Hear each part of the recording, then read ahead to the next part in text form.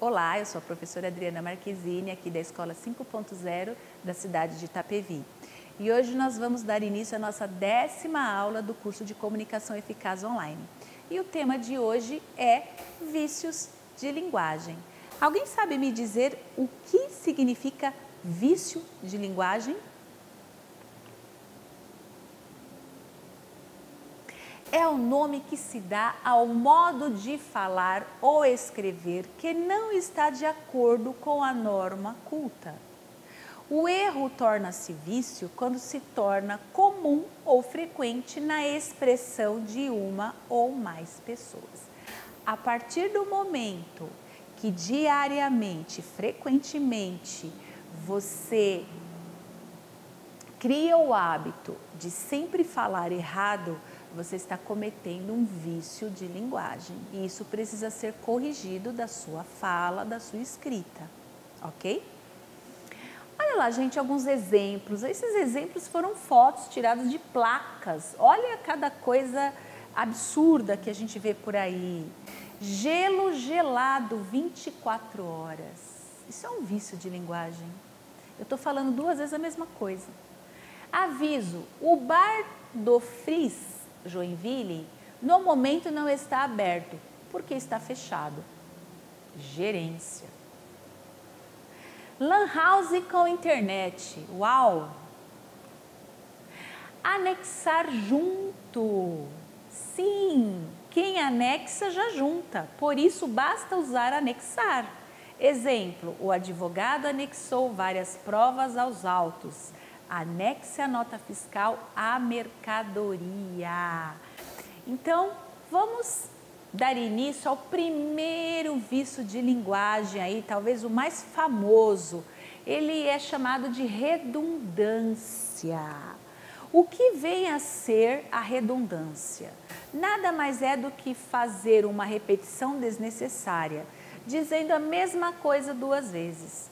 É um erro que deve ser evitado. Por exemplo, conviver junto. É claro que conviver é estar junto. Sair para fora, entrar para dentro, subir para cima, descer para baixo, metades iguais, novidade inédita, países do mundo, encarar de frente, elo de ligação, se auto-suicidou-se a si mesmo, se suicidou-se, por aí vai. Todas essas palavras são vícios de linguagem. Às vezes a pessoa sabe que é errado, mas ela viciou tanto a falar errado que ela não consegue se corrigir. Isso é um vício. Então vocês precisam tirar esse vício da linguagem de vocês. É fácil? Não, porque é vício.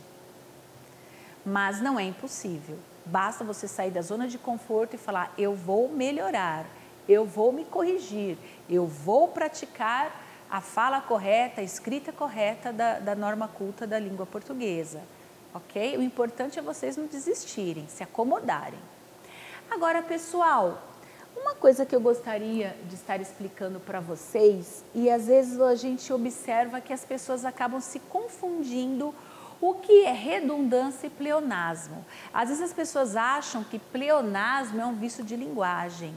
Às vezes a pessoa acha que pleonasmo é a redundância e na verdade não é. Olha lá a diferença. Então eu acabei de explicar para vocês o que é a redundância. E o que é pleonasmo? É a repetição correta por conta da licença poética da literatura, coisa que escritores e poetas podem fazer.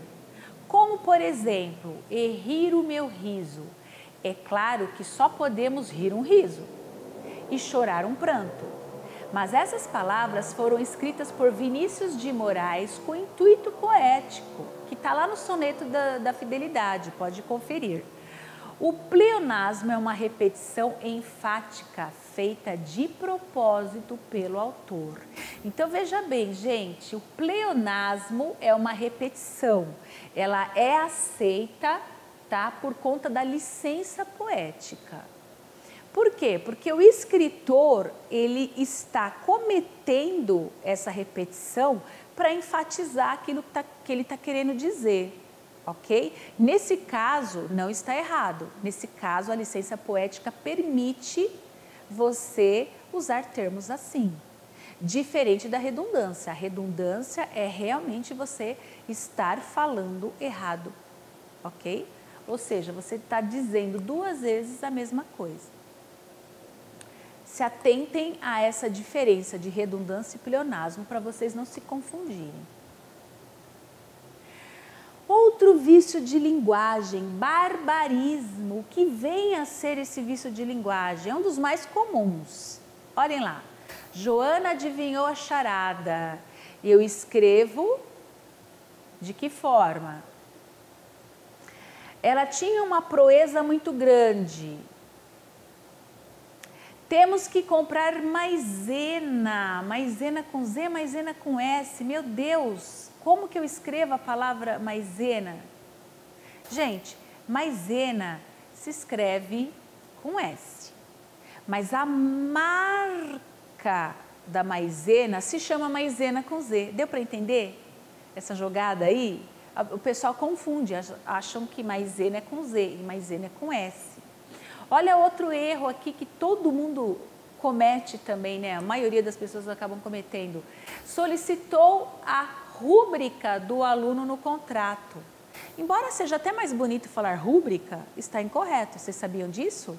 O correto é eu falar rubrica, como está entre parênteses aqui solicitou a rubrica do aluno no contrato. O pessoal se assusta quando a gente fala a forma correta, mas é, a gente tem que tomar cuidado com esse vício de linguagem barbarismo. Tá? Arcaísmo, o próprio nome diz, arcaísmo vem de arcaico, algo muito antigo. O arcaísmo remete a algo arcaico, algo antigo. Esse é o uso de expressões antigas que hoje já não são mais usadas. Um exemplo aqui, vós mecê. Vós mecê foi substituído pela palavra você.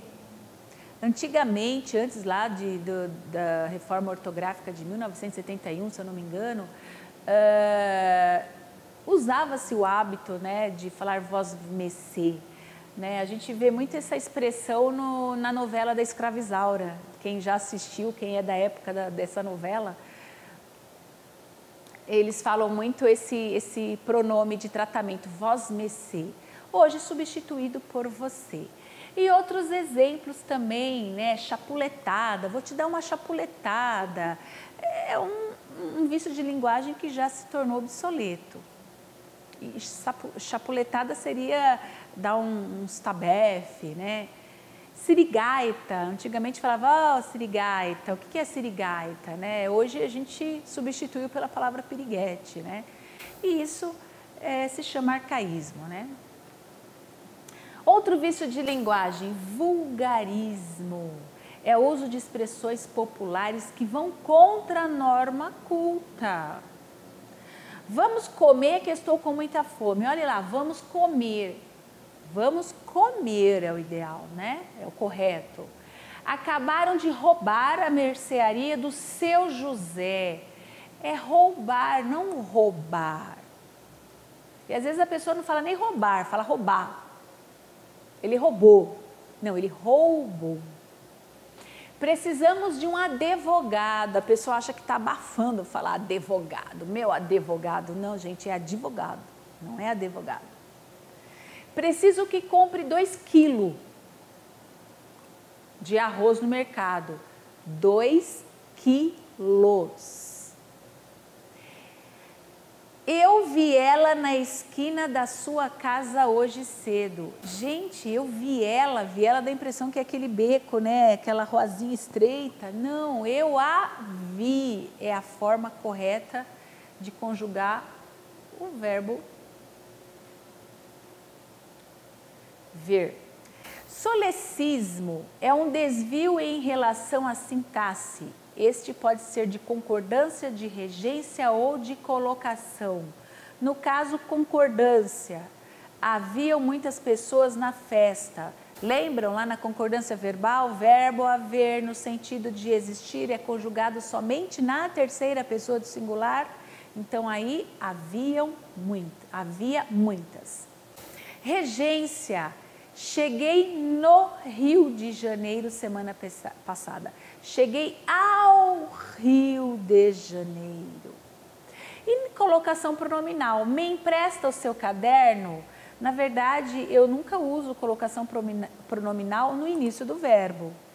Eu tenho que falar empresta-me ou empresta. Empresta o seu caderno, ok? Estrangeirismo é o uso de palavras estrangeiras em nosso idioma. Por exemplo, o show de hoje vai ser ótimo. Gente, show é uma palavra que está em inglês, que significa o quê? Espetáculo. Mas normalmente nós não falamos, ah, eu vou ao espetáculo. Não, eu vou ao show. Vamos tomar um chopp depois do trabalho? Outros é, exemplos aqui de estrangeirismo, né? Play, fast food, outdoor, delivery, drive-thru, fashion, download e etc. Ambiguidade. Esse vício de linguagem usa diversas palavras na frase que causam duplo sentido na interpretação. Veja os exemplos. Marina discutiu com o namorado e estragou seu dia. Da forma que eu elaborei essa oração, dá de entender o quê? Que foi o dia da Marina ou o dia do namorado que foi estragado? Não dá para entender direito, né? Olha esse, esse aqui que engraçado. O cachorro do seu irmão não me deixou entrar. Da forma que eu estou escrevendo aí, dá de entender que é o cachorro do irmão. Não, mas na verdade não, é o cachorro que ele tem. Então a gente fica meio que na dúvida aí, né? É o cachorro do meu irmão ou é o cachorro mesmo, né? O animalzinho de estimação que eu estou me referindo. Então esse vício de linguagem se, se chama ambiguidade, tá? É, é a linguagem que você usa na frase que causa duplo sentido. Então vocês têm que tomar cuidado com isso. Olha lá um exemplo que eu coloquei aqui, ó. Hoje a gente usa o Google, né? Mas antigamente a gente usava muito o dicionário Aurélio, alguns usam até hoje, né? Aurélio, bom para burro. Opa! Se você é burro, você vai precisar do dicionário. Se você não é, você não vai precisar dele, né? É só para brincar um pouquinho com vocês. Outro vício de linguagem, cacofonia. Nossa, que nome lindo esse, não? É o encontro ou a repetição de fonemas. Fonemas tem a ver com o som das palavras, tá? Ou sílabas que fazem um efeito desagradável ao ouvido. Veja alguns tipos de cacofonia. Meu Deus, não seja já. Ele marca gol. Clementemente, constantemente. Vou mijar. Então, da forma que eu coloco aqui, ele marca gol, dá entender que eu estou falando o nome de uma pessoa e eu estou querendo dizer outra coisa para ela, né? Dela, afinal, né? Que ela cagou ali. Vou mijar. Da forma que eu coloco aí, dá a impressão que eu estou indo fazer o xixi lá na, no banheiro, né? Então, esse é um outro vício de linguagem. Olha, porcada, viela, boca dela. São também vícios bem comuns aí na, no linguajar do povão aí, né? Estamos terminando o nosso curso de comunicação eficaz aqui da Escola 5.0. Espero que vocês tenham gostado.